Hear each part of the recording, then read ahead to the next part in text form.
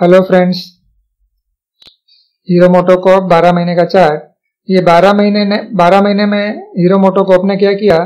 सिर्फ़ ढाई परसेंट का एप्रिसिएशन और निफ्टी के साथ कंपेयर करेंगे पहले तो निफ्टी में 42 परसेंट की बढ़त। परसेंटेज आप यहाँ पे देख सकते हैं 42 और इसमें 2.42 परसेंट की इंक्रीज यहाँ पर हाई बनाने के बाद काफ़ी नीचे चला गया। और फिर तेज़ी से ऊपर नहीं आ पाया है। दूसरी एक बात देखें कि यहाँ पे वॉल्यूम्स के कैंडल बड़े अच्छे दिख रहे हैं, यहाँ से यहाँ तक। जुलाई से लेकर फेब्रुआरी तक फिर थोड़े रिड्यूस हो गए हैं, जून तक, जून एंड तक, लेकिन अभी पिछले थोड़े समय में काफ़ी डाउन है वॉल्यूम्स देखिए, ये हम तीन महीने का चार्ट ले लेते हैं पहले। देखिए वॉल्यूम्स में काफ़ी कटौती हुई है। अभी हमें देखना है कि फ़र्स्ट जुलाई से क्या फ़र्क पड़ा। थर्टी फ़र्स्ट थर्टी जून लेंगे लेंगे।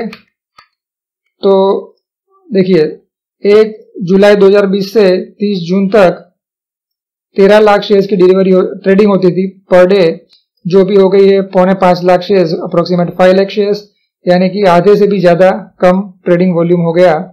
और डिलीवरी अच्छी है 3.72 लाख शेयर्स की हुआ करती थी।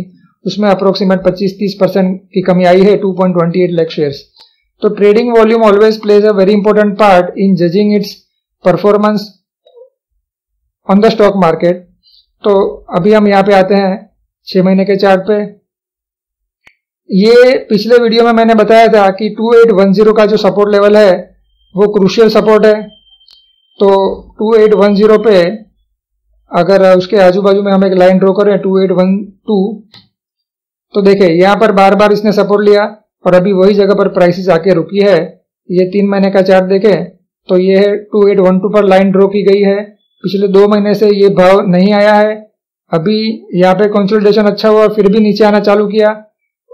मुझे ये लगता है कि ये प्राइसेस और भी नीचे जाएगी। Thank you